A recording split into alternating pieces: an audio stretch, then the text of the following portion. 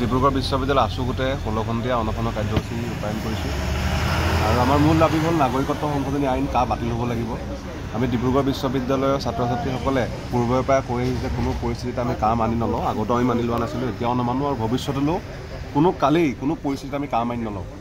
আৰু চৰকাৰখনে যদি ভাবিছে তেওঁলোকে কৰোণাৰ সুযোগ লৈ পেলাই ক'ভিডৰ সুযোগ লৈ পেলাই এই আন্দোলনটোক মহিমূৰ কৰিব তেওঁলোকে মূৰ্খ স্বৰ্গত বাস কৰিছে। কাৰণ ডিব্ৰুগড় বিশ্ববিদ্যালয়ৰ ছাত্ৰ ছাত্ৰীসকলে পূৰ্বতে যি ব্যাপকভাৱে যি এটা ব্যাপকভাৱে প্ৰবল ৰূপত যি কা বিৰোধী আন্দোলন কৰিছিলে ডিব্ৰুগড় বিশ্ববিদ্যালয়ৰ ছাত্ৰ ছাত্ৰীসকলে আমি আজিৰ পৰা আৰম্ভ কৰিছোঁ। ধাৰাবাহিকভাৱে আমি কা বিৰোধী কাৰ্যসূচী কা বিৰোধী প্ৰতিবাদৰ কাৰ্যসূচী আমি চলাই যাম। আৰু এটা কথা আচলতে চৰকাৰখন ইমান নিৰ্মম ইমান ষড়যন্ত্ৰকাৰী যে বি টি চিত ইমান ডাঙৰ নিৰ্বাচন হ'ব পাৰে কিন্তু বিশ্ববিদ্যালয় ক্লাছ হ'ব নোৱাৰে। তেওঁলোকে এতিয়ালৈকে বিভিন্ন ধৰণৰ ষড়যন্ত্ৰ কৰি পেলাই বিশ্ববিদ্যালয়ৰ শ্ৰেণীকোঠাসমূহ তেওঁলোকে বন্ধ কৰি ৰাখিলে। অথচ ৰাজনৈতিক দলসমূহৰ নিৰ্বাচনী প্ৰচাৰ সভা হ'ব পাৰে কিন্তু বিশ্ববিদ্যালয় ক্লাছ হ'ব নোৱাৰে।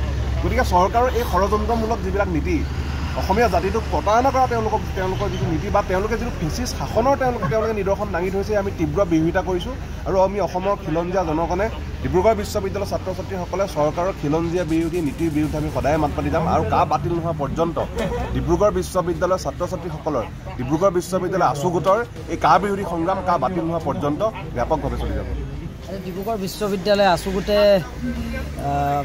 আজি ষোল্ল ঘণ্টীয়া অন্নশনৰ কাৰ্যসূচী গ্ৰহণ কৰিছে। আমি ডিব্ৰুগড় জিলা ছাত্ৰ সন্থাও ইয়াত অংশগ্ৰহণৰ বাবে আহিছোঁ। আমাৰ ছাত্ৰ সন্থাৰ স্পষ্ট কথা যে যেতিয়ালৈকে কা নামৰ জাতিধ্বংসী আইনখন বাতিল নকৰিব তেতিয়ালৈকে আমাৰ ছাত্ৰ সন্থাৰ মজিয়াৰ পৰা সংগ্ৰাম চলি যাব সংঘবদ্ধ সংগ্ৰাম চলিব। আমি আগতেই কৈছোঁ যে আমাৰ অসমীয়া জাতি সত্তাক শেষ কৰিবৰ কাৰণে অসমীয়া জাতিক শেষ কৰিবৰ কাৰণে যি তেওঁলোকে পলিটিকেল আৰ্মি আনাৰ তেওঁলোকে চিন্তা চৰ্চা কৰিছে তাক আমি পূৰ্ণতাৰে বিৰোধিতা কৰিছোঁ। অসমীয়া জাতি সত্তাক মোগল আহিলে শেষ কৰিব নোৱাৰিলে মান আহিলে শেষ কৰিব নোৱাৰিলে। এতিয়া বি জে পিয়ে যেনেকুৱাই পলিটিকেল আৰ্মি তেওঁলোকে নানক লাগিলে তেওঁলোকে কোনো কাৰণতেই অসমীয়াক পৰাজিত কৰিব নোৱাৰে পৰাভূত কৰিব নোৱাৰে। আমাৰ বিজয় ইতিহাস আছে শৰাইঘাটৰ ৰণত আমি বিজয় হৈছিলোঁ। আমাক কোনো বহিৰাগত শক্তিয়ে কোনোদিন পৰাজিত কৰিব পৰা নাই আৰু ভৱিষ্যতেও নোৱাৰে। গতিকে এই কথাটো বুজি লৈ খুব কম সময়ৰ ভিতৰত তেওঁলোকে এই কা নামৰ আইনখন বাতিল কৰিব লাগে।